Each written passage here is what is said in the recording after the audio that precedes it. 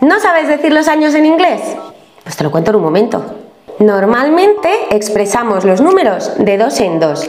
Primero los dos primeros números y luego los dos siguientes. Por ejemplo, 15, 55, 19, 87.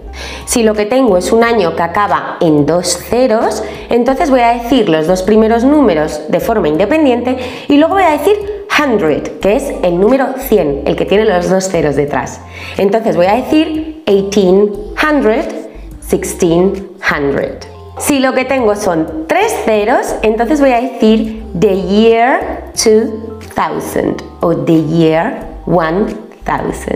Si el cero está en el tercer dígito, puedo irme de nuevo a la norma de decir los de dos en dos y podría decir 1405 o puedo decir 1400, que sería el 1400, y luego and 5. Y los que van después del 2000, de nuevo, o lo digo de dos en dos y puedo decir 2007, o no me complico y digo 2007.